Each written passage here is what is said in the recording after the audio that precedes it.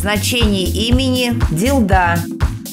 В любви часто капризны и нуждается в человеке, способном управлять отношениями и принимать противоречивый характер партнера. У обладателя согласной «Л» в имени тяга к телесному комфорту может отодвинуть в тень все другие виды душевных порывов. Буква «Л» в этом имени придает личности артистизм, богатую фантазию, литературные способности. Если на предприятии раздали под участки землю, первым обнесет колышками свой газон тот, тот, в чьем имени есть звук «Д». Правда, сначала обнесет, а лишь потом задумается, в состоянии ли он эту землю обработать. Значение буквы «А» в этом имени символизирует обновление, ежедневное возрождение в самом широком смысле. Буква «А» в этом имени несет символ первооткрывателя. Эти люди должны изменить свое отношение к миру и обратить внимание не только на материальные, но и на духовные и интеллектуальные аспекты человеческого существования внимание, должны проявлять больше человечности, великодушия и понимания к окружающим. Внешне человек показывает практичность как ширма для сокрытия романтической мягкой натуры. И тонкая духовность, чувствительность, доброта,